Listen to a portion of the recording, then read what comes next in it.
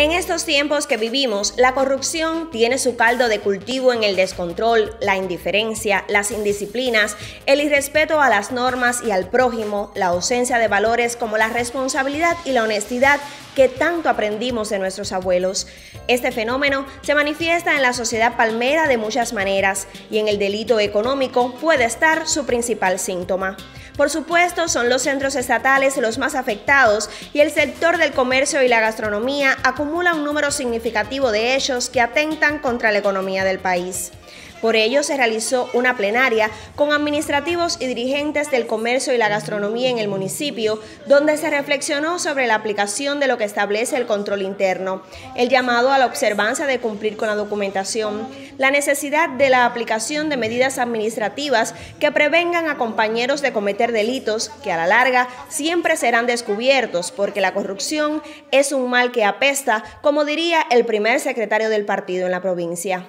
Desde la Fiscalía, exponiendo ejemplos concretos que se han trabajado en Palma Soriano, se alertaba sobre el deber de todos de denunciar cuando existan signos de apropiación indebida de recursos con sus múltiples maneras de concretarse, porque al final quien vio y no denunció es tan responsable como el que robó. La guerra contra la corrupción comienza desde la prevención con palabras claras, pero sin dudar de quien se enriquezca con los bienes destinados al pueblo, caerá sobre él el peso de la ley, dejando las cuentas claras. Rosalina Tamayo Arañó, Sistema Informativo de la Televisión Cubana.